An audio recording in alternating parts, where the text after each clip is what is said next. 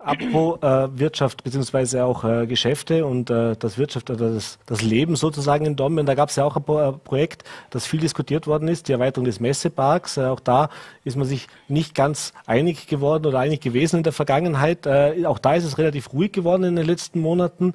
Äh, wie ist denn da der aktuelle Status? Das heißt, Gibt es da nach wie vor Gespräche oder ist das jetzt momentan mal, ja, wie soll ich sagen, ein bisschen ruhend gestellt?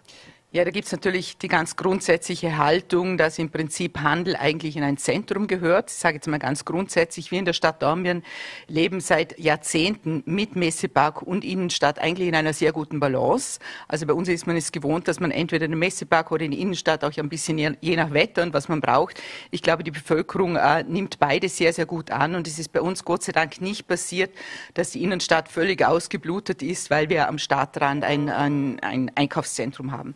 Von dem her ist die Diskussion natürlich nach wie vor aktuell. Es liegt ein Antrag äh, der Messeparkbetreiber vor auf eine Erweiterung des Messeparks. Er ist auch in die Jahre gekommen und jedes Zentrum muss auch einmal saniert, adaptiert und erneuert werden.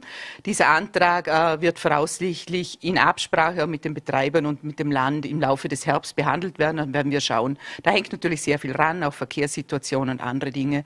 Aber wir sind da in sehr guten Gesprächen. Mhm.